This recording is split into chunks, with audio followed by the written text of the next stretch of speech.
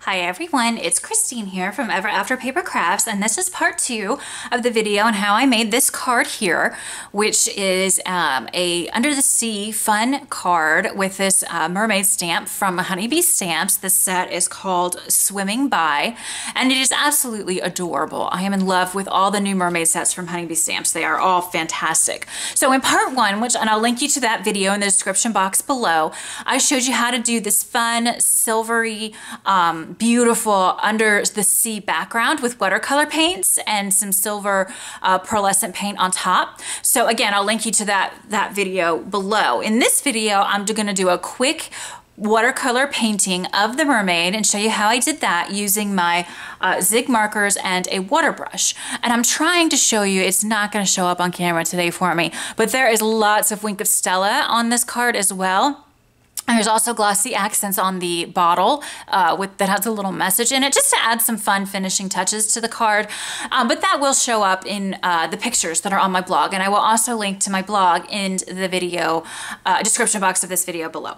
Okay, so let's go ahead and get started. I only used a handful of markers for this particular card and I'll call them out as we go along. I already went ahead and stamped the image onto Canson XL watercolor paper using my Hero Arts black dye ink. This is my favorite ink for watercoloring of any kind, be it, you know, paintbrush and paints or painting with the zigs and a water brush, whatever uh, watercoloring medium I'm using, I reach for this particular ink. Another ink that is um, available as well that works well is Versa, VersaFine Black Onyx ink.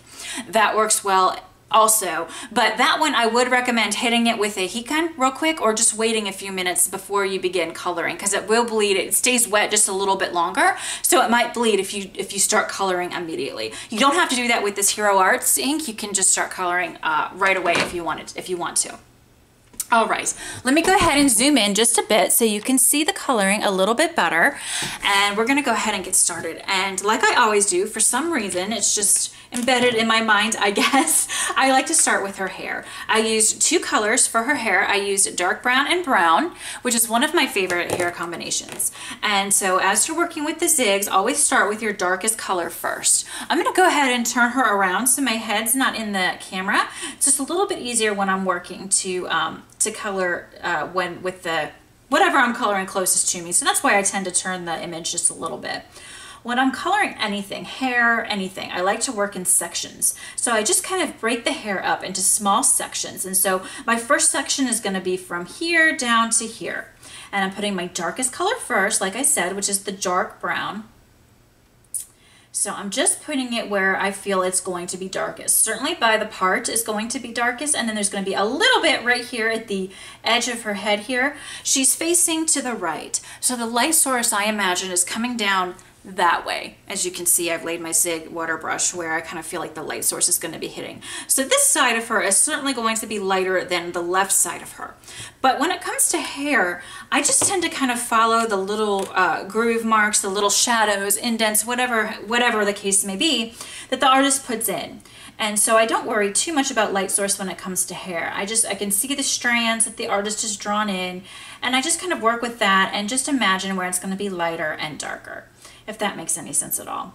Um, and in the middle is always going to be where that light source is hitting it directly. So it's going to be lightest. So I just came in now with my brown, which is my second and only other color, to mix it with that dark brown and pull it out. And now I'm using my water brush to pull all, both colors, the mixture that we created, into the center here to really get that nice, beautiful shaded look and I'm just kind of going over it um, where those two, where the line of the marker meets the open white space and uh, using a circular motion or a pushing motion with your Zig water brush will help iron out any harsh lines that you may have gotten when you put the marker down.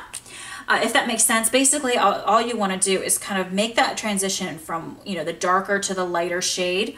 Um, less known as, as least noticeable as possible.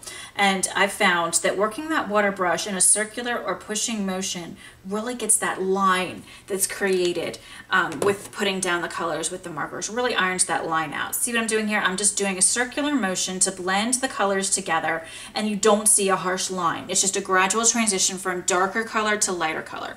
So hopefully that, that makes sense for you guys. The next section that I'm gonna do, and I'm gonna turn her upside down, just again, because it's easier for with the camera, so I don't get my head in the way here and you guys can actually see what I'm doing. I'm going to do this section of hair that goes around and comes up. So it's going to be darkest, of course, here where all that hair kind of meets in the middle where the scalp is. So I'm going to put some darkness there with the dark brown. There's some, um, yes, dark brown, I'm sorry. There's some right here. It's like there's, this hair is on top of this hair. You can just see from the illustration. So right here is going to be a shadow as well. And then, of course, at the tippy top where all that hair meets, it's going to be dark as well. So we'll go ahead now and come in with our brown and mix that together with the dark brown and pull it up into the white space that remains so that we get some blending going on here. So we're going to want to blend this up here as well and start blending, pushing that color downward into the white space. And now we take our water brush and fill in all this empty space here so that we get a really nice blended look and also work in a circular motion to get that uh, the harsh lines from the markers to disappear. So we just have that beautiful, uh, very subtle blending of color. And I just love that look. So, so pretty. Your um, your Zig water brush or whatever water brush that you have really serves like a paintbrush. And you can even do this technique with just a paintbrush and water if you wanted to. If you're going to do that though, I would recommend a very fine tip on your paintbrush so you can really get into those small spaces uh, that, that a lot of these stamped images have. Now I'm just doing a little bit of work on the little curly cue here with her hair at the very tippy top. And now we finally have to do this um, last section over here. So what I'm going to do is just put more marker here of the dark brown, the darkest color, around her face, around her ear here, and then of course up against uh, the where where the kind of the hairstyle ends, so to speak. And again, remember on this far left side of her, it's going to be darkest as well. Make sure you can see that. There we go. So we're just putting our dark marker down. And when we put the color down, we're literally just putting a line of color down. And we're not worried about it being, you know, a beautiful line of color because it's going to be all blended together with our water brush. So what we put down with our marker, nobody cares because we're gonna fix it and make it look beautiful by all this blending here with the water. The way these markers react to the water just makes it beautiful and effortless to create really pretty results with these markers. And there you have it. There's her hair just done very quickly there, but you can see how easy that was. Now let's move on to her uh, clamshell little top. And for that, I just used one color. I used marine green. And I just put a little bit of color on either side of the little shells. Just a little bit. Tiny little bit, scribbling the color on. No magic to how I'm putting it down. Literally just scribbling it on. Make sure in between colors, of course, you scribble off the tip of your water brush on a piece of paper towel until no more color comes off of it. That's how you clean it, and you can go from one color to another effortlessly that way. So I always just have a piece of paper towel on my workstation so I can clean it, clean it up. All right, now it's time for her tail. And for that, I use deep violet and violet. And remember, the light source is coming this way. So this left side of her tail is going to be the darkest. So I'm gonna turn it slightly this way. It's a little easier for me to reach everything. And I'm gonna come in with the darkest color first, which is the deep violet. And we're just gonna put a line of this color down right along this left side here of the image where again, it's going to be darkest based on where I have imagined the light source to be. So we put a line of that down. Now we're going to come in with the light violet and just in a circular motion blend it with that deep violet color. And just blend, blend, blend, and then pull out as well into the center here where all this white space is. And then we're going to take the water brush here and pull everything out and fill in the remainder of the white space. Easy peasy, so super easy to do this, but just beautiful results, I think. for bigger spaces like this, you might sometimes have to give your water brush a little squeeze just to have some extra water come out to fill in the entirety of the space. And that's easy. Just squeeze it on your paper towel so some more water's flowing and then spread the ink around that way. But so super easy. Wasn't that easy? And the result is just really pretty. Now we'll just do the fins with the same color combo. The, the, um, the deep violet and then the light violet and uh, then the water brush, of course. Come in with the water brush to fill in the remainder of the space. Same thing on the other side, the other fin.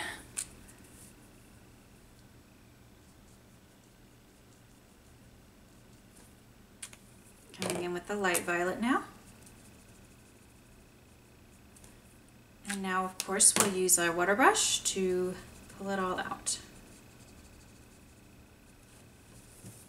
Now, on the finish card here, I decided I just thought that that was too light to too dark. I just didn't like how it blended. So I went in and just went over top of it again, just to, to um, lessen that kind of dramatic dark to light look. So what's great about the zigs is you can just go right back over top of what you just, the color you just laid down. So I'm putting that deep violet back down again, just right over top of where I just put it. And now I'm taking the light violet one more time again and just blending that with the deep violet here, blending it together, and then take that water brush and pull it all into that empty space, or the white space rather. And it will just darken it up a little bit and make the shading not quite so extreme from, from dark to light. And, uh, and you can do the same thing on the fins as well so that they are a little less dramatic as well. I hadn't used uh, the deep violet to the light violet before. Um, it's a pretty big color jump. So that's why I just decided to go over it one more time and then it wasn't quite as big of a color jump and um, you know, made it made it look a little bit better. So if you wanted to do this and, and you haven't really played with the zigs too much yet, I would recommend just doing violet and light violet instead of the deep violet. I think that would be much easier for you if you're just starting out. But I really did like the end result of this color combination, even though I hadn't worked with it before and it was a little tricky. I liked how it came out in the end. Okay, so there's her little tail. The last thing that we have to do now is her skin tone. And how I do skin tone when I'm doing Caucasian skin is I use flesh color and blush. So I'm going to start with her face and I'm going to put the darkest color first, which, which is the blush. Again, this left side is going to be darker, darkest because it's the farthest away from the light source. So I kind of put quite a bit of, um, of the blush there and then of course around her hair as well.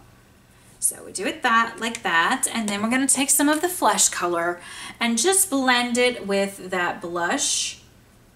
We don't want to forget her ear over here. So just blend those two colors together, pull the color up into the white space and then take your water brush and blend it all together.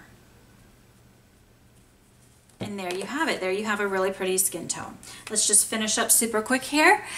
We'll go under her neck now with watercolor paper, I usually do, um, because it's a thicker paper and these colors, these flesh colors are so light, I usually will paint over it twice, just like I did the tail. So I would just literally go back right over what I just did one more time. I'm not gonna do that for the purposes of the video because I don't want the video to be too, too super long. Uh, but that's something to keep in mind. If you are using, you know, watercolor paper like I am, you can easily go back over the skin tone one more time and it will, um, show up a little bit better. You'll be able to, to see the shading a little bit better than you can just going over it once. And again, that's just because this paper is thicker and these colors are a little bit lighter, so they get absorbed into the paper and the shading is not as uh, dramatic as you might like. So if that's the case, just go over it again, just like we did that, that mermaid tail. Finally, to add some blush to her cheeks, I use Almond Pink and I just put a little circle on either side of her cheeks. And then I take my water brush to blend that in. And all I do is I just go over the pink right over top of it in the same circular motion that I laid the marker down, except this time I'm doing it with my water brush. And that just blends it into the cheek without ruining the blending that you've already done um, with your skin tone. So that's it, guys. That's our mermaid and that was quickly colored, very quickly colored, but I think you get the idea of how you can beautifully paint um, these images with your zig markers and a water brush. So I hope that you enjoyed this video and I hope that you will give these techniques a try. Um, I had so much fun painting this mermaid and anyone can do it if I can do it, I promise. So give it a try, guys. I'd love to see what you come up with. Thank you so much for stopping by. Have a wonderful day and I will catch you in the next video. Thanks. Bye-bye.